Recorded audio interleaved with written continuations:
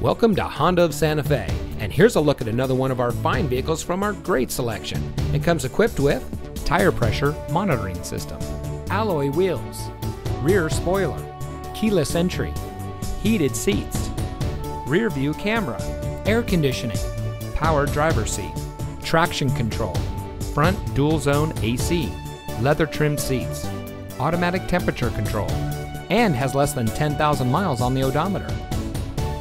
Honda of Santa Fe, every pre owned vehicle at our dealership is thoroughly inspected and tested to ensure great performance and full satisfaction.